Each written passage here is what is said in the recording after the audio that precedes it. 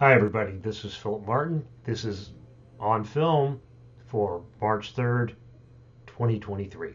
Now, this is the last on film in this format. We're going on hiatus, but we're coming back.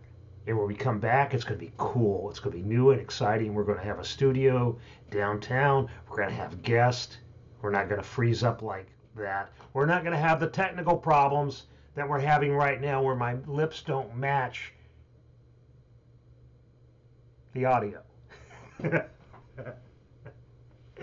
anyway, uh, the only other thing I want to hit on, because we're doing that, is that uh, if you think you could pick the Oscars, get ready, because we're running an Oscar picking contest. Uh, I don't have the details yet. but look for next week in the Arkansas Democrat Gazette. Uh, we will be sending it out in our newsletters to your email boxes. And finally, you'll get a chance in movie style next week to make your final picks. You're going up against a good guy, uh, Joe Riddle, Uncle Joe Riddle, who is our Oscar maven. He's been picking the Oscars for us for uh, maybe 20 years now. And consistently, he's above 90% every year. So, if you win the contest, I'll go get you something out of the room back there.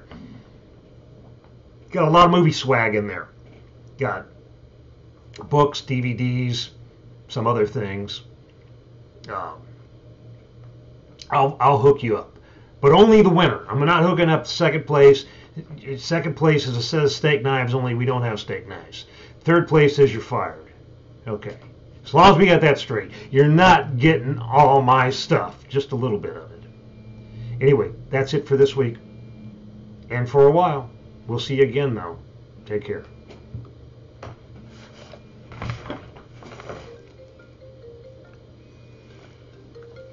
Hey, Mom.